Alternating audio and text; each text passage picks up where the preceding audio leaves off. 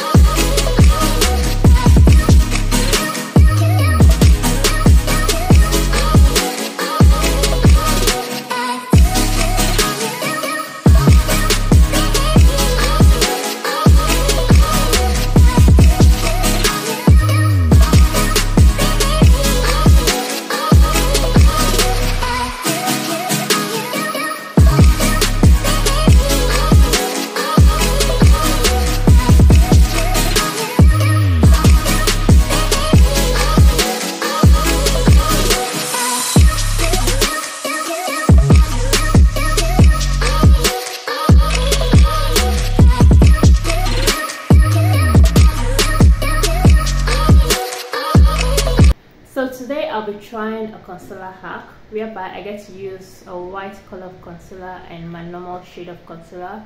I saw this on Instagram. It's actually from TikTok. I saw mine on Instagram and I've been meaning to try it. So let's see.